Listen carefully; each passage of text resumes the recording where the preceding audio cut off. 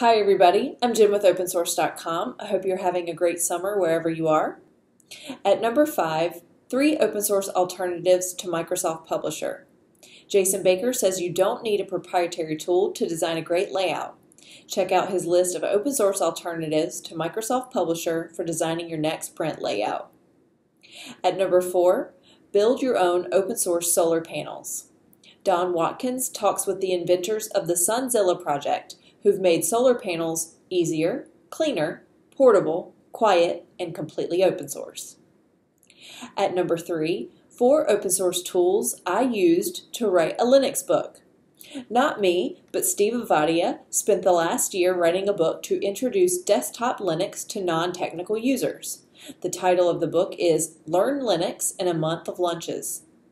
In this article, he shares the open source tools he used, plus a few things like, you know, pens, paper, and post it notes. At number two, when Linux is the face of kindness. When people are experiencing hardship in their lives, Phil Shapiro tries to lessen their burden using refurbished Linux desktops and laptops. And finally, at number one, top 10 Raspberry Pi add on boards. Hats are an add on circuit boards and accessories that add functionality to your Raspberry Pi.